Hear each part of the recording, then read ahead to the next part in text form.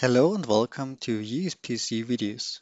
Today I will show you on um, how to create an easy no-code solution to translate a document into a different language with just one click.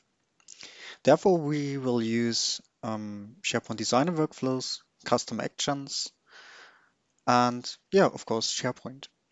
My name is Dennis Hobmaier. I'm senior consultant and working at Solutions2Share, specialized for provisioning and syncing site templates uh, in conjunction with a self-service portal.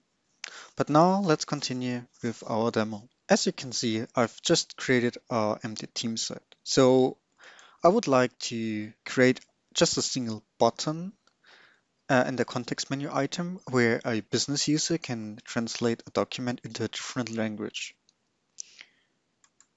In the back end, it will use the machine translation service, which is already pre-configured in the cloud. Let's start with a new document and provide an example. So I'm just doing copy and paste with some example. So we have a document now having uh, containing English text and because we have a, like a project, we would like to I translate this into German. As you can see, there's no default out-of-the-box uh, method how you can translate it. So start with a workflow. So I'm just choosing Edit Library. I have SharePoint Designer installed locally already. Make sure that we have opened our document library and we will start with a workflow.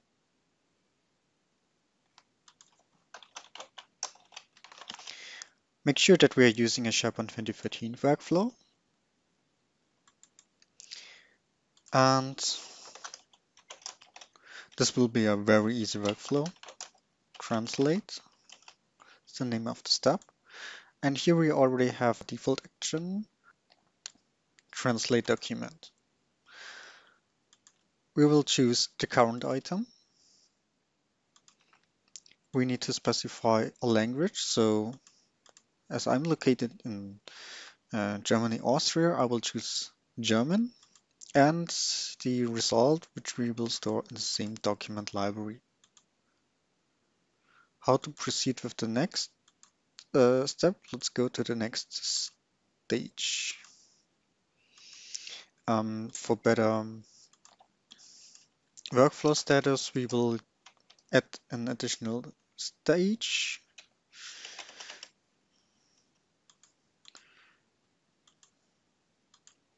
set this to finished and here go to and here we will end the workflow and then the, as an action we will set the workflow history log to history translation finished. Okay that's all. Save and publish So it's important that we're also publishing that so that the workspace is available.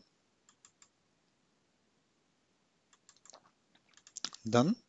Let's go back to our document library. We will see that the workflow has, has been available and currently for manual start. So we could already start translating document by choosing a right click on the document, advanced workflows, then I need to start it manually. So I would like to create a one click solution. So let's create a custom action now. So that's a method where you can add a button. Um, you can either choose from that menu directly in here, but that's a little limited as you only have list basically the context menu item available. While if you choose the one above in the ribbon, you have the list item, which is exactly the same like this. And you have also uh, different kind of forms where you can add the button. Um, so I will start with the list item menu.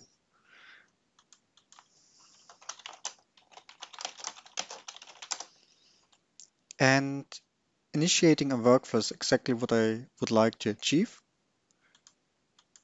I can add a button which I've already um, prepared, but uh, need to upload it on my site.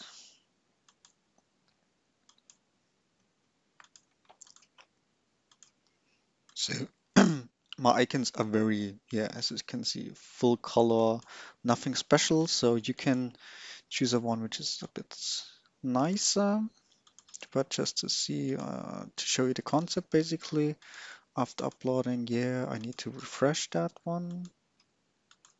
So SharePoint Designer detects the change.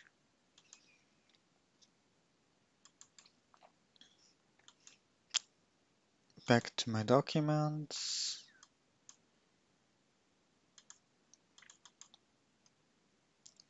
Site assets. Yeah, now it works fine.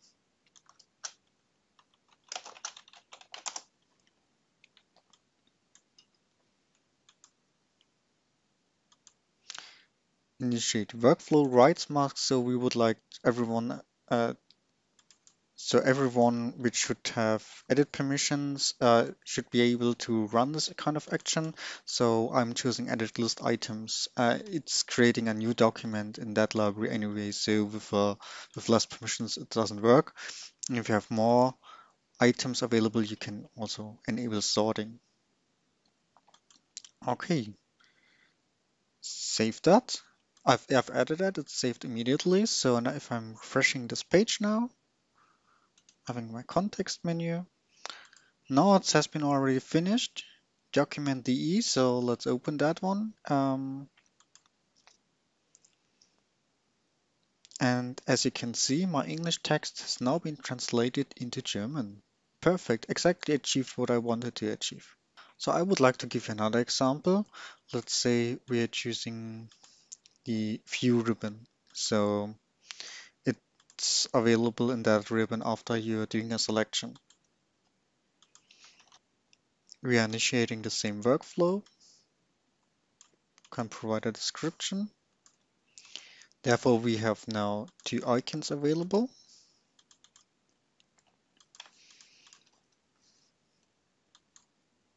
And confirm. So now the difference after I refresh the page is now if I select the document, I have the same functionality available from this area as well. So create another new document.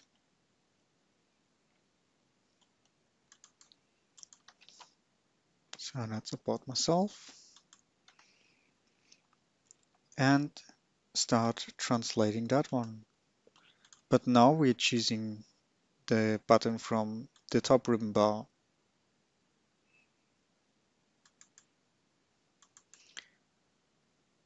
So and after a certain amount of time, it has finished the translation and